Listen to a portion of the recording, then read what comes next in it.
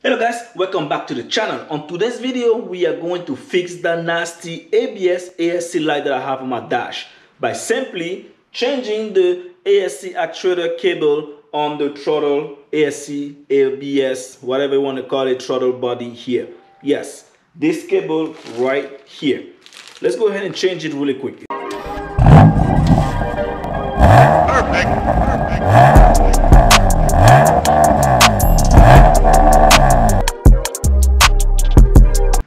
The cable that we are going to fix here. As you can see here normally this cable on the actuator should not be you know the actuator itself should not be flimsy and plain like that. Now if you check carefully you will see that I already attached it and that's when I was troubleshooting to try to see what what exactly was causing the issue on my car. Now as you can see here normally this is supposed to be static like that not moving so that whenever the engine is moving this this right here is supposed to pull the cable. But what is happening here is that because it's flimsy sometimes when it's trying to pull the cable here to either open or close the throttle it doesn't happen. Now after I actually attach this little lace right here I saw that every now and then the light will go away and come back. So this is exactly what helped me point out that this was the problem. Now, I didn't just come to this conclusion. Before coming to this conclusion, I actually checked the relay here. I checked the fuse and I was actually ready to even check the ABS sensor on each wheel just to figure out if those are the issues. But then when I was doing my research, I found out that this is also something that you have to check. So when I came and checked, I found out that this was loose and then I decided to replace it. Before replacing, I went ahead and tied it up, kind of like to see if this is going to help at all. And it did help because every now and then the light will go and then come back. So I believe that once I replace this cable, everything will be set. That's exactly what we are going to do right now. To easily remove this, what we need to do is we need to remove this little assembly right here because that is going to give me access to the 10 millimeter bolt that are in here like this one right here and this one right here. Now once those are free i should be able to pull this cable by removing it from there then removing it everything and then the actuator and the cable is going to come off. But because i need a little bit of access i want to remove this just so that i have access to remove this assembly without you know causing any type of issues on this area. So i'm going to have to go ahead now and unclip this. As you can see this little clip right here it's three of them, one here, one here, and one there. I need to unclip that using a flathead screwdriver. That's to free this assembly a little bit. And from there, I will go ahead and use a 10 millimeter, remove this one screw right there.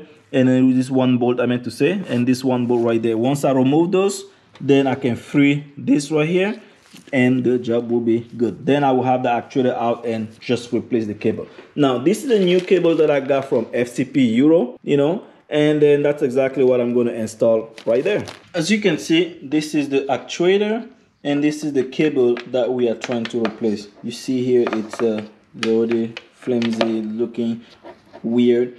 Now the way you actually operate is pretty simple. Now to remove that cable here from the ABS actuator body, you simply pull just like this, then use a screwdriver to push the little front part that is here out. After that is out you will be able to remove it from this hole because this is where it sits. And then from there you pull this part that is you know that is removed already and wiggle the actuator out. These are pretty much the two screws where the actuator will sit. Now let's go ahead and open the actuator and then replace the cable. So to open the actuator have this tab right here one two we open it and after we open it i'm going to show you what's happening. Since i don't have a table i have to improvise this so i can show you exactly how i am removing this. So as i mentioned earlier you have this little tab right here.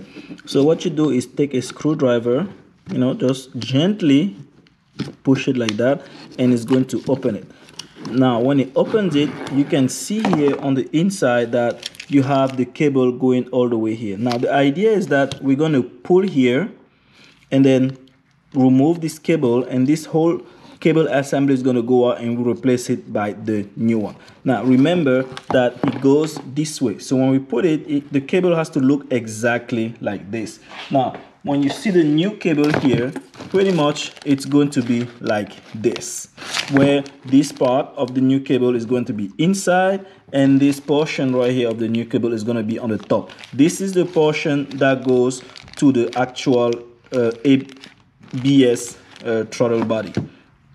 So let's go ahead and get moving here. So first thing we want to do is pull this area. So if you pull this a little bit there you go. It is out. So you can see it has like a little ring here but i didn't really care about damaging this cable because i'm going to you know remove this. Now usually to remove this cable type of cable you have to pull like this. When you pull and it has no tension you can easily push it out like that as you can see. Now this tight space but it is out and using a screwdriver I should be able to free it out. Just like that now I'll just remove this piece from the hole and the whole assembly is out. Now I have to just go ahead and put it back. This is a new cable again you can put this on the side for now. Remember that it has to be this way. So I have to take all this tension on this cable have it on this end. Just like that. Then feed this little piece inside here and pretty much the idea is that we want to have this one seated exactly how that one was in the past. So we have to just wiggle it a little bit. It's not going to be easy. It's going to take a little bit of time and patience. But eventually it's going to go in. Now when it's like this you can use your little screw driver flathead to kind of like guide it inside the hole. Almost there and there you go. Whoop, almost there. Oh well i'm making a little mistake because the cable has to, actually has to be in here. So what i have to do is just push the cable a little bit inside just like that. Pull the cable like that. Oh i made a mistake but everything is bad. So i think the best way is to just have the cable from the beginning in there and then kind of just guide this inside not easy. Again like i said require a lot of patience and you have to do this very gently.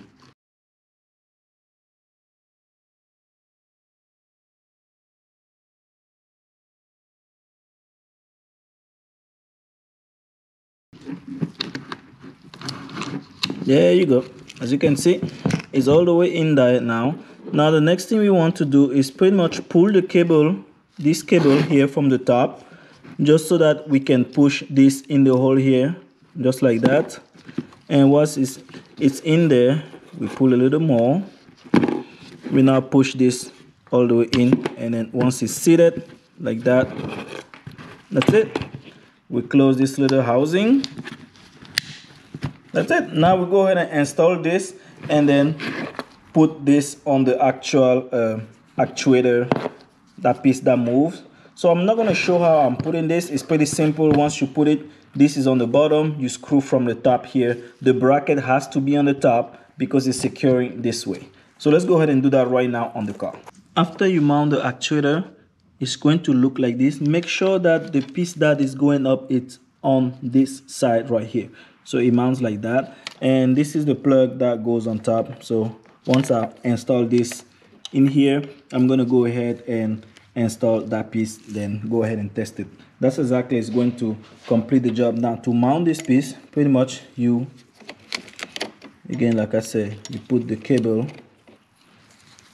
trying to do this with one hand but it's not really easy. But you put the cable in here literally and you push this thing this way and it's supposed to clip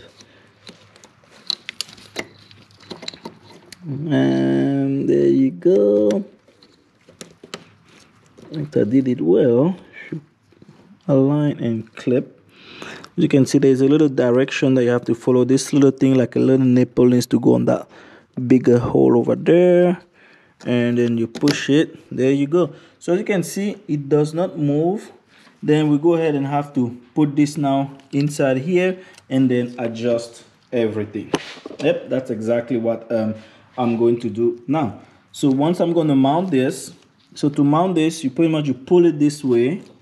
It's something that you have to do with you. When you pull this way you put the cable that little uh, nipple thing inside the hole and the cable will align here and then you adjust the cable by turning this right here. This is what give or take the cable. Now you have to adjust so that the tension is good enough so that it's not pulling but it is resting properly I went ahead and installed the cable as I mentioned right here. But now what we have to do is we have to adjust. Normally when this pull lever thing is in this position all the way like this that means the on inside the throttle the valve is kind of closed. Now when it's totally open the valve is open. By default it has to be open so that you can get air inside the engine. But i feel like right here i don't know if it's the fully open position so what i want to do is turn this wheel a little bit and see if it is moving towards that direction if it moves toward that direction then i want to have it so that the tension here is good enough so that um, when the actual ABS wants to kick in, it just move this way. So let's go ahead and try to see. So when I turn it, you can see that it's still going on the back a little bit. So that means it wasn't totally open. Now it's stopped moving and I can see that now if I pull this way, it's moving gently a little bit. So I think I should just leave it about here. Yep. So I think this is a good tension for this. Now, I'll go ahead and turn on the car. And normally as a test, you will see that when you turn on the car, this is going to move. And this is exactly what is giving that ABS as soon as I turn on the car because this is moving. And if this cable is not stable, like the way it is right now, it's not going to work. So let's go ahead and test that really quick.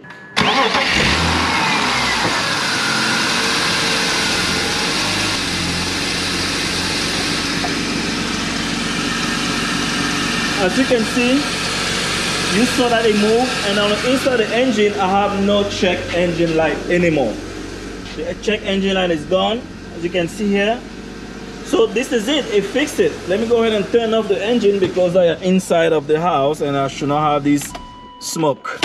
All right guys. You saw it took me about 15 to 20 minutes to fix it because i had to film but it was pretty simple. It's an easy job but it fixed my abs issue. Now when i drive uh, hopefully any more abs situation is not going to happen. Now if you have abs on your car ASC and uh, ABS light on both at the same time, chances are it could be that. It could be a relay that is bad. It could be a fuse. It could be also the ABS sensor on the wheel. So those are the area that you have to check. Now, if you check all of those and it doesn't really work, I would suggest that you go ahead on the forum and see if even if you have any code on using a code reader just to make sure that you don't have any code after you check the OBD2 or this OBD1 port right here.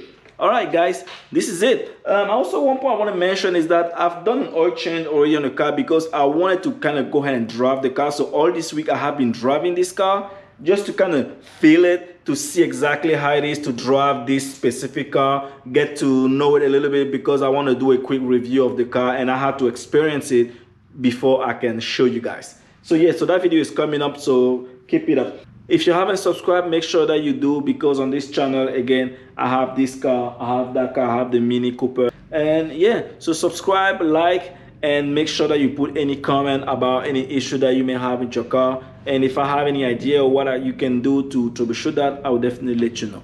Again stay safe and see you on the next video